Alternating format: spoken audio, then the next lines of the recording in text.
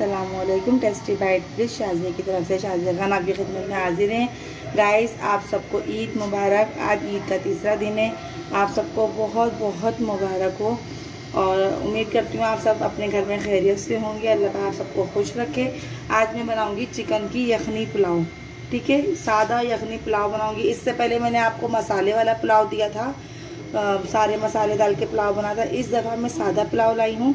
ये मेरे पास तीन पाव मुर्गी थी। आधी मुर्गी की मैंने यखनी बना ली है और आधी मुर्गी ये मैं फ्राई करूँगी, ठीक है?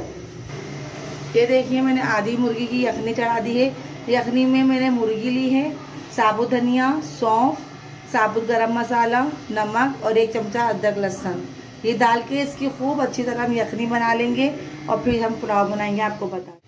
ये देखिए गाइस अब हमने ये चावल बनाने का तरीका। ये प्याज मैंने दो अदद ले ली है, बारीक काट के, आधी चमची ज़ीरा है और दो टुकड़े दालचीनी के, एक बड़ी इलायची है, चार पाँच काली मिर्चें, चार पाँच लौंग है, ठीक है? ये चार पाँच हरी मिर्चें हैं, उनको मोटा मोटा मैंने ऐसे ग्राइंडर में कर लिया है, एक कप प्याली है और ये चिकन जो आपको बताई थी, ठीक है?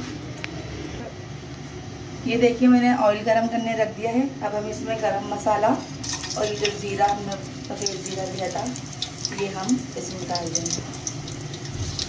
ताकि इसकी खुशबू थोड़ी सी आ जाए। फिर इसके बाद हम प्याज फ्राई करेंगे।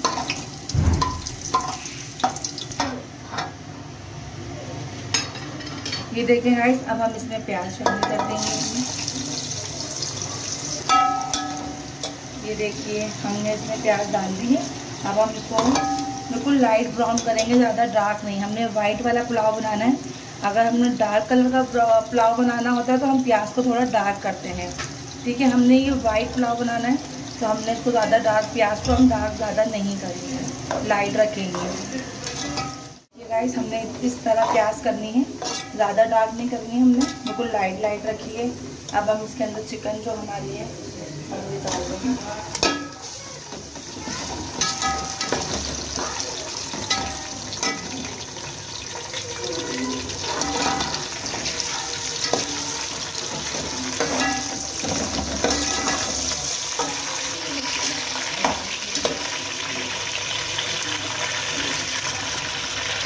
देखिए गाइस चिकन हमारी फ्राई हो रही अब इसमें दो चमचे लहसुन अदरक के डाल देंगे। ये एक चमचा मैंने यखनी में भी डाला था, ठीक है? तो एक चमचा यखनी में डाला था और ये दो चमचे मैंने और अच्छी तरह और फ्राई करेंगे। अब राइस अब हम इसके अंदर हरी मिर्चें जो हमने अपनी करी थी, ये हरी मिर्चें डाल देंगे ठीक है? ये दही जो हमने नीचे कप ये दही डाल देंगे हम। गाइस अब हम इसमें नमक डालेंगे हसबे जायका अपना। हमने आधा नमक यखनी में भी डाला है तो हम सोच समझ के नमक डालेंगे। तो हमें थोड़ा सा नमक डाल लेंगे उसमें अपने हसबे जायका नमक रखिएगा। जितना आप खाते हैं। अभी ये हल्का सा फ्राई हो जाए। अदरक, लहसुन, हरी मिर्ची, दही, इसमें अच्छी तरह फ्राई हो जाए। फिर मैं इसमें यखनी मिलाऊँगी। क्योंकि हम यखनी पुलाव बना रहे हैं ना तो इसमें मैं यखनी मिलाऊँगी। अच्छी तरह फ्राई हो चुका है हमारा चिकन अब मैंने जो यखनी बनाई हुई थी, ये देखिए इस तरह की यखनी बनी हुई है, बहुत अच्छी मज़े की। अब हम ये यखनी इसके अंदर ऐड कर देंगे। ये देखिए जो हमारी चिकन हमने यखनी में डाल के बनाई थी। ये हमारी चिकन है जो हमने यखनी में डाल के हमने इसकी यखनी बनाई थी। अब ये चिकन हम इसी में शामिल कर देंगे। अच्छी जायकेदार चिकन हो गई है हमारी। और अब ये पानी बॉयल आ जाए तो फिर हम अपने चावल, तीन पाव हमने चावल लिए हैं अपने। तीन पाव चिकन थी तीन पाव मैंने चावल लिए हैं। तो जब पानी में उबाल आ जाएगा, फिर मैं इसमें चावल डालूँगी। ये देखिए गाइस अब हम ये हमारा पानी बॉयल अच्छी तरह आ चुका है। अब हम ये हमारे चावल है। हमने धो के अच्छी तरीके से इसको भिगोए हुए थे भी धो के हमने। और ये हम इसके अंदर ऐड कर रहे हैं।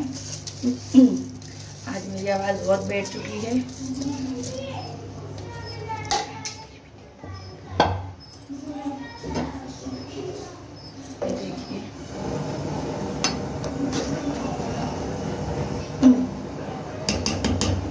देखिए, मैंने इसमें चावल ऐड कर दिए हैं।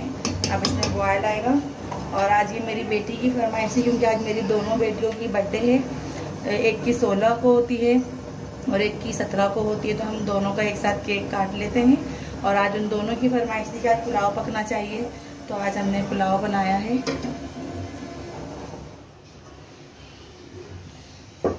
ये देखिए गाइस सब हमारे चावलों में दम आ चुका है बिस्मिल्लाहिर्रहमानिर्रहीम। ये देखिए एक एक दाना खिला खिला है, ठीक है? अब हम डिश आउट कर लेते हैं। इसमें देखिए गाइस हमने ये डिश आउट कर दिया है पुलाव अपना, यखनी पुलाव, और ये बिल्कुल वाइट होता है, इसमें कोई जर्दे का रंग नहीं डलता, ना केवड़ा डलता है। यखनी पुलाव होता है, ये बिल्कुल वाइट सादा होता है। और इसके साथ हमने ये सैलेड बनाई है, और ये हरी चटनी का रायता बनाया है, ठीक है? हरी चटनी डालकर रायता बनाया है। ये पुलाव यखनी पुलाव बनाया है, उम्मीद करती हूँ आपको बहुत पसंद आएगा। और आप ज़रूर ट्राई कीजिएगा मुझे कमेंट्स में लाजमी बताइएगा। और जो अपनी दुआओं में शाहजहा खान को याद रखिए, मुझे सब्सक्राइब कीजिए लाइक कीजिए बेल आइकन कीजिए और अपनी दुआओं में याद रखिए। ओके अल्लाह हाफिज़।